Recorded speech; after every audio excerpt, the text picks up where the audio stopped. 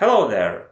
How we can create artificial general intelligence. I want to review four potential approaches to the solution of this problem. Let's start from the least possible approach and then gradually move to the most simplest and promising. And the first approach to AGI creation is a physical simulation. If we knew how the universe works, we could recreate a model of the Earth 4 billion years ago, at the moment when life emerged, and run the simulation till the present time. Natural selection in such world will do the rest. Then we could just copy the brain and use it without any understanding how it works. There are a couple flaws in this approach though. We have to wait 4 billion years if it's a real-time simulation. We don't have enough computational power to run this simulation in real time, not mentioning x time faster. And we don't understand how the universe works. Other than that, it's a perfect plan, but we can optimize the process.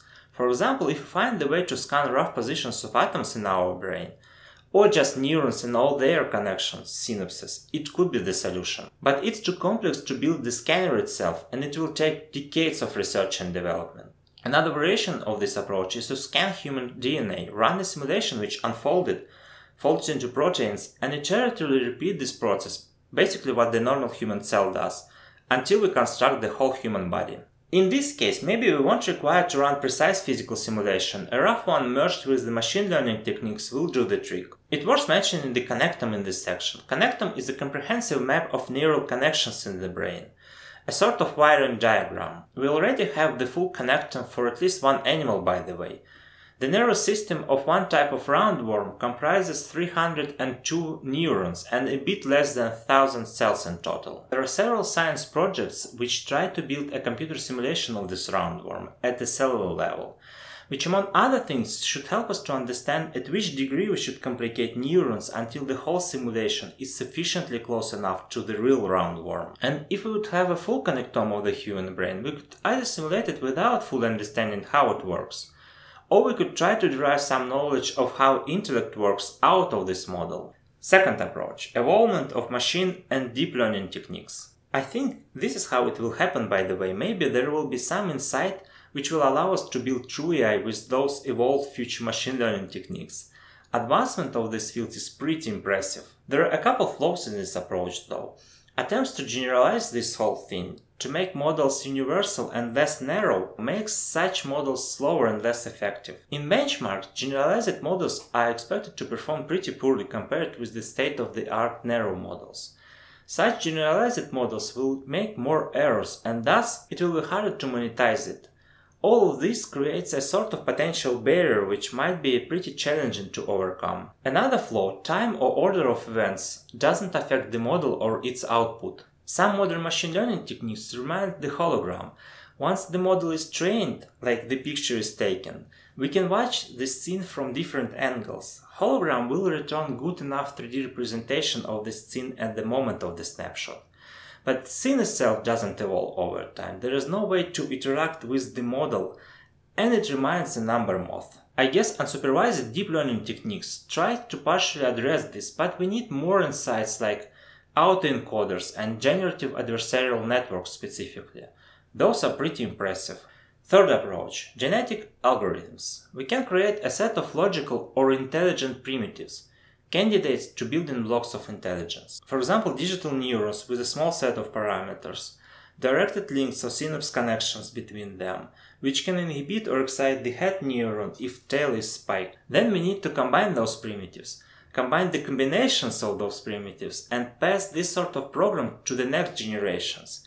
Then we need to come up with the fitness function, so we can run evolution in terms of genetic algorithms, which will hopefully converge to something meaningful. If we run millions of evolutions and try to compare the results, we probably will find some interesting patterns there. And along the way we can create and throw in new types of primitives to make the whole environment more versatile. This approach requires a bunch of computational resources and thus pretty expensive, but in case if you have some resources, I would recommend to mine some insights with this approach first, since it's a very straightforward one. And the first approach I call deriving the first of fundamental principles of natural intelligence. I think this approach is the simplest one. Neuroscience already has a bunch of facts about our brain.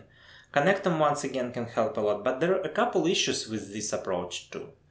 Otherwise we would solve intelligence a long time ago. First issue, it's even hard to understand where to start.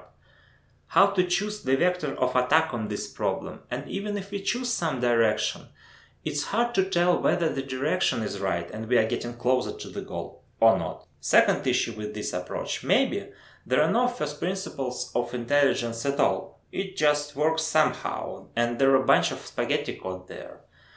Or there are so many of these principles that there is no point to derive anything at all.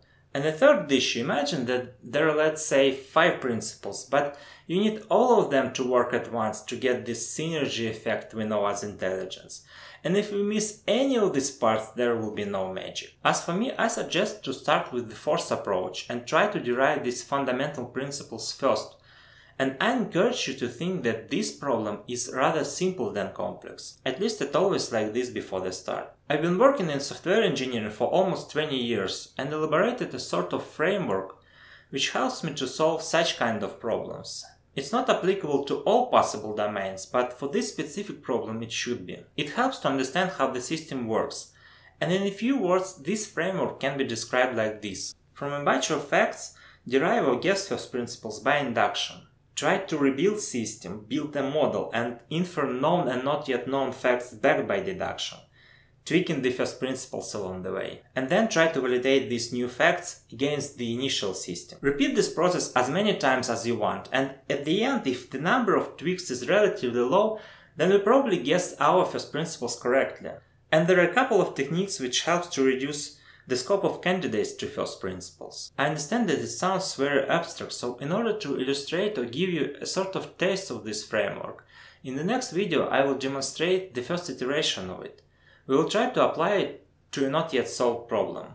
We will try to derive the first principle of the universe itself, since it's much simpler than intelligence as for me. I don't do physics professionally, and the solution most probably will be wrong. Garbage in, garbage out, right?